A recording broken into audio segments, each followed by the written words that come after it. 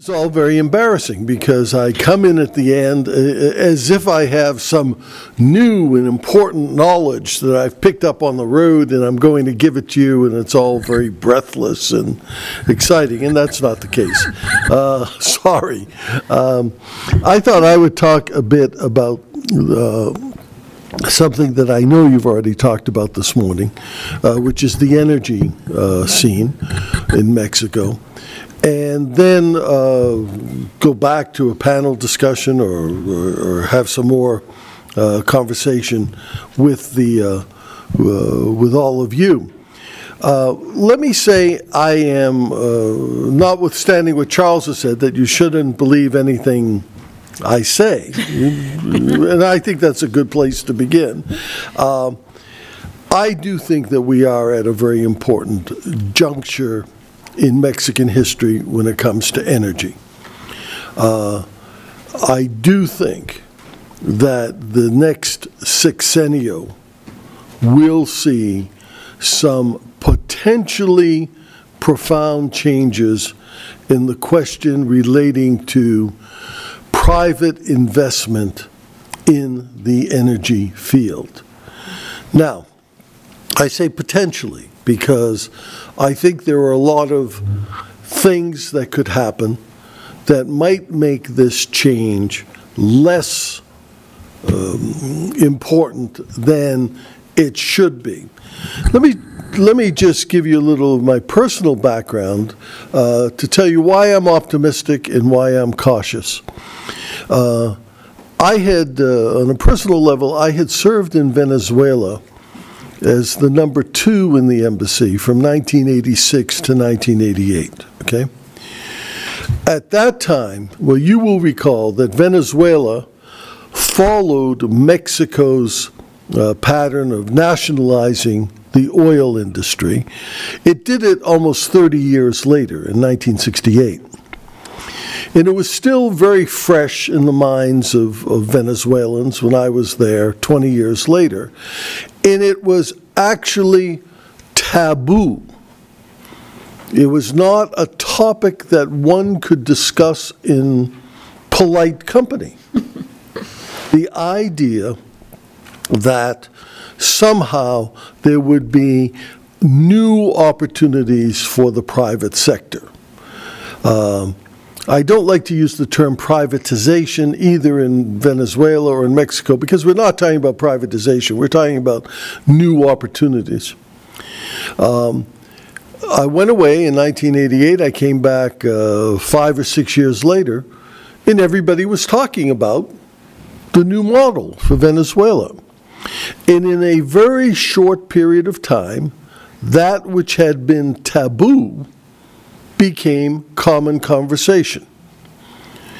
Now, I think that's what we're seeing in Mexico now. After years and years in which uh, politicians and opinion leaders have been unwilling to talk openly, for the most part, about a new structure for the petroleum industry, now it is accepted, it's talked about, uh, uh, you can mention it in polite company. I'll give you an anecdote. We had here, Jeremy Martin was here, and, and some others, uh, 10 years ago when Felipe Calderon, we met, Felipe Calderon was at that point Minister of Energy. Uh, and we met with him in Mexico, we met with him up here, and in private conversation, he was quite open that what he wanted to do for the Fox administration was an opening of the petroleum sector. And he had a fairly well elaborated plan. This is what he was going to do as Minister of Energy. Well, he got nothing done. Then we saw him again when he was running as a candidate for president. And he repeated this again privately that given all the problems within the Mexican petroleum sector, way, a way had to be found to get new investment so that uh, uh, output could be increased. Well, he talked about it quietly tried to do a few things, and here we are at the end of Calderon's uh, six-year term, and really not much has been done. Now, the difference now is that politicians are being very open and talking about the need for privatization. And once again, nobody is talking about total privatization, but ways of attracting uh, private investment. Uh, certainly, Peña Nieto has made this an important part of his campaign. Josefina Vázquez has also talked about it. I don't think uh, Lopez Obrador uh, uh, has talked about it or is certainly is not in favor of it. Uh, favor of it.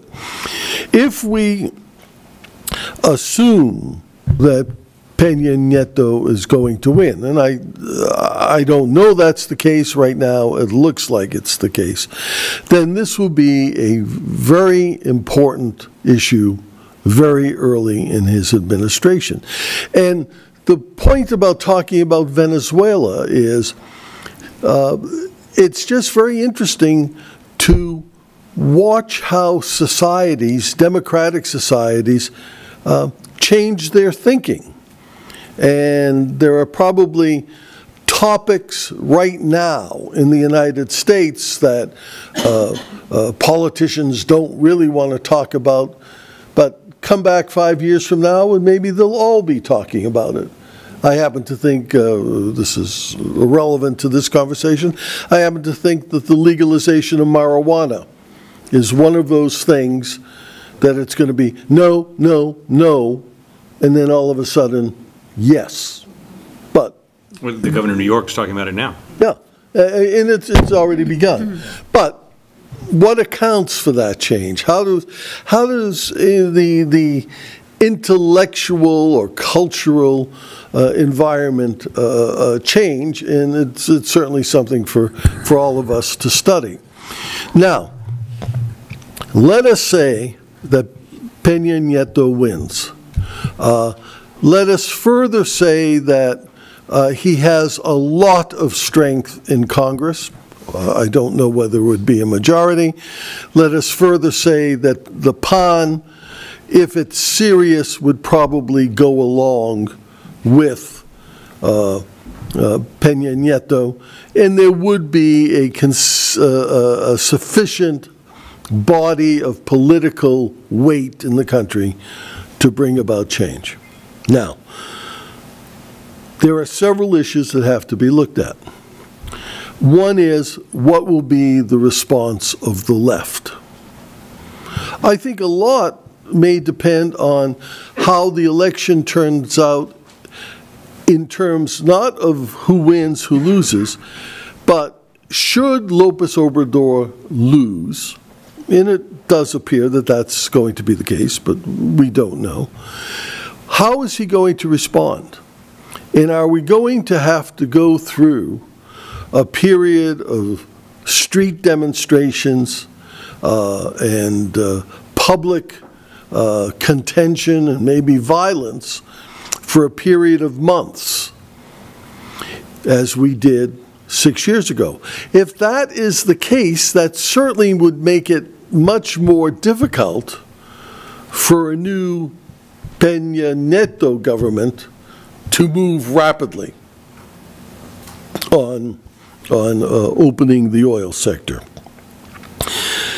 Secondly, in terms of public opposition, I think one of the things that is interesting me most about this current campaign is, let's call it the student movement, uh, Soy 132. And here you have large numbers of people, mostly students, not all, uh, from uh, all sectors of society who are demonstrating what they feel to be great mistrust for the entire political class. Okay? Now, here's where I see this as potentially quite interesting because many of these, let's call them students, are, let's say, modern in their thinking. You know, generally willing to accept the idea that there should be a change in the petroleum sector and hydrocarbons. But their suspicion of the government and of the political elites is so great that this may lead them to make a common cause with people further to the left, joined in their anger against those who want who uh, in in the new government, even though the people in the new government may be arguing for change. I think the political climate in Mexico that comes out of the election may be one which is in some ways toxic and would make change difficult. That's, that's the first point. Um, Another major issue is that although we know the PRI has won many elections uh, uh, over the, the the past uh, years, will probably win many more governorships uh, in July, uh, this is not the same PRI that existed a dozen or 20 or 30 or 40 years ago. The ability of the, of Los Pinos, or of the PRI-president, again, assuming that it is a PRI-president, and maybe it is not, but let's assume that, to impose his will on the state governors and on maybe members of the legislature, on others, as could have been the case and was often the case in generations past, that no longer exists. The PRI that will run the country is not the PRI that ran the country. It's not your father's PRI. Yeah? So, a lot of, of these issues uh, bring about what, uh, there's a great phrase in, in um, India, when the Indians uh, talk about uh, politics. They, I've never heard it anywhere else called fissiparous tendencies or vociferous tendencies.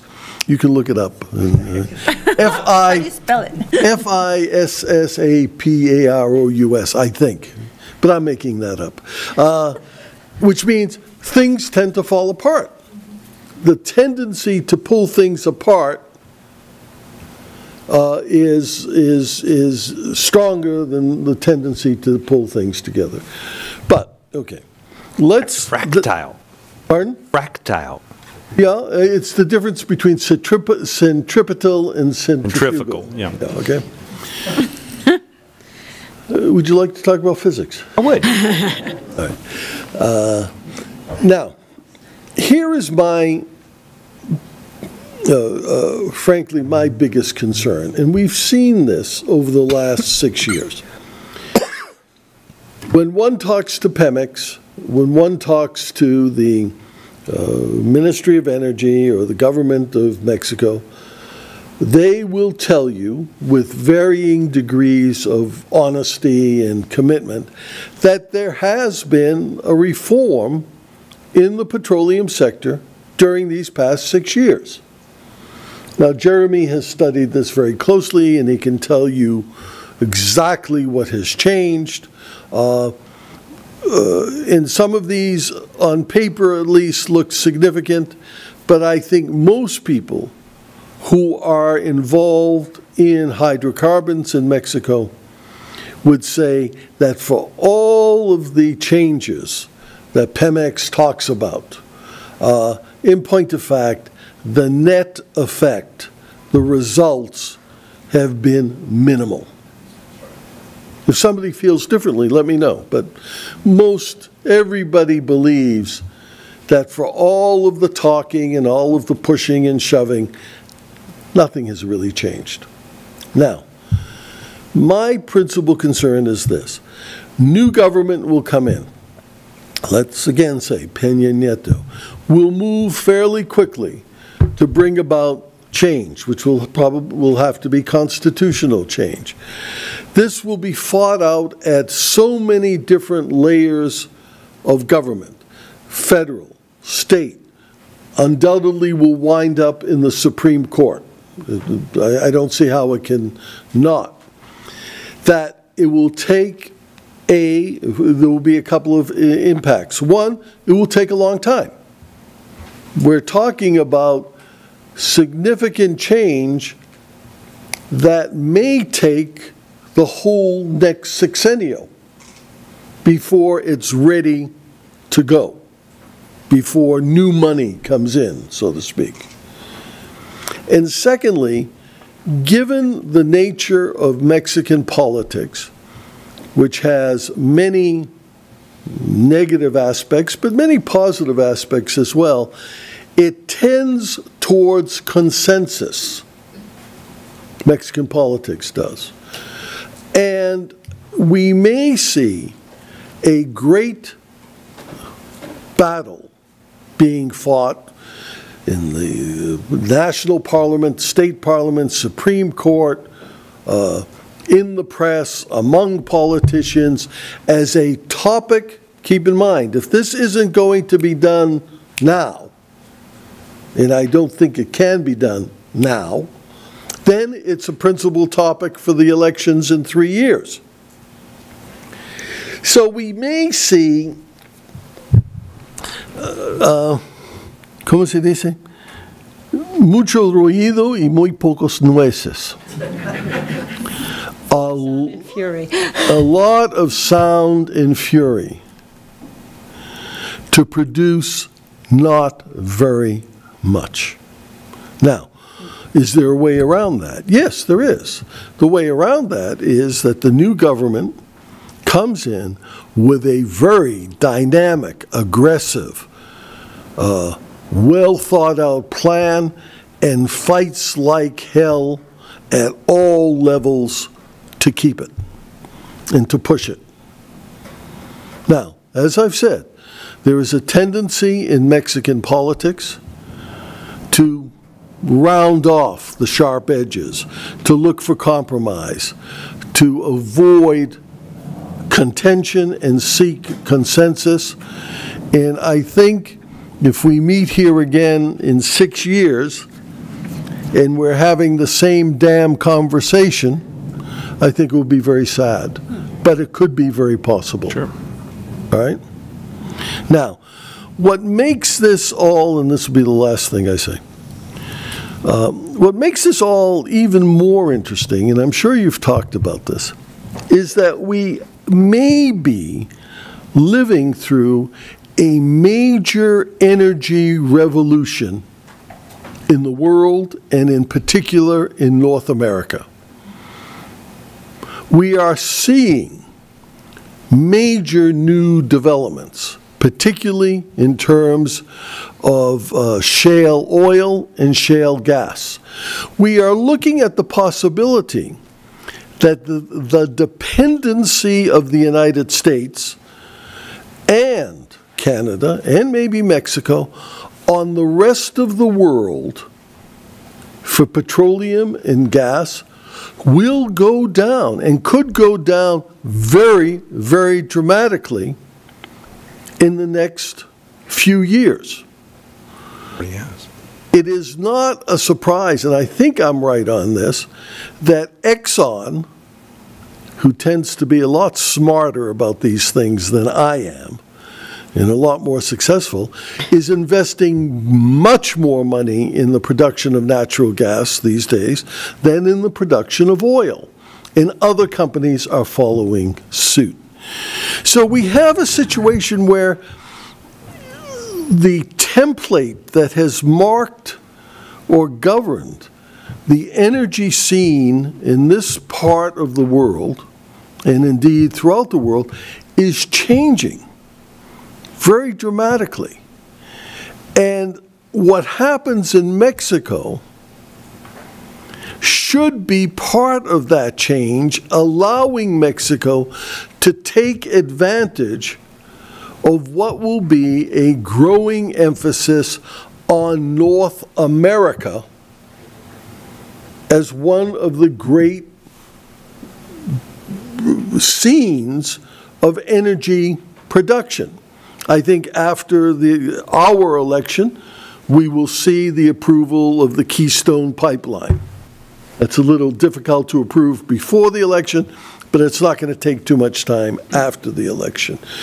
The Canadian tar sands, hydraulic fracking in, in Canada, everything that's happening here in both oil and in uh, natural gas.